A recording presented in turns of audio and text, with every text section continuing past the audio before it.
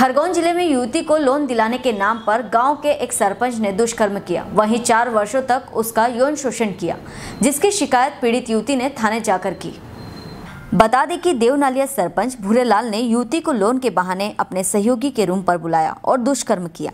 उसके बाद चार वर्षों तक युवती का यौन शोषण किया। ऐसे में पीड़िता ने पुलिस कोतवाली पहुंचकर सरपंच के खिलाफ धारा 374 के तहत अपराध दर्ज कराया। इस दौरान थाना प्रभारी ने बताया कि अपने मकान में रहने वाले किराएदार और नौकरों की जानकारी थाने पर दे, जिससे आने वाली समस्या से निपटा जा सके। खरगोन से जयंत गुप्ता की रिपोर्ट। युवती ने थाना कोतवाली में शिकायत की थी कि भूरीलाल के व्यक्ति ने 2018 में खरगोन में कुंदा नगर में, मुकेश नाम के व्यक्ति के रूम पे लोन दिलाने के नाम पर ले जा करके उसके साथ में गलत हरकत की थी और रिपोर्ट पे हम लोगों ने एफआईआर की है। और पीड़िता का ये भी कहना है कि उसके बाद से लगातार वो डरा धमका के उसके साथ में गलत काम करता रहा है। हमने अभी एफ़ आई दो लोगों के खिलाफ कायम की है और आरोपियों की तलाश की जा रही है।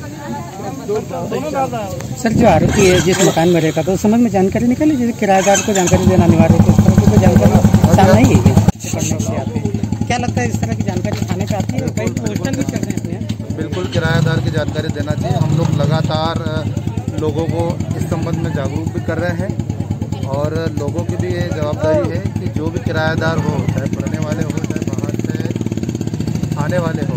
किराएदारों की जानकारी अवश्य दें और आप लोगों के माध्यम से भी मैं लोगों तक ये संदेश पहुंचाना चाहूँगा कि किराएदार नौकरों की जानकारी आवश्यक रूप से दें थाने पर, ताकि भविष्य में किसी प्रकार की कोई घटना से बचा जा सके।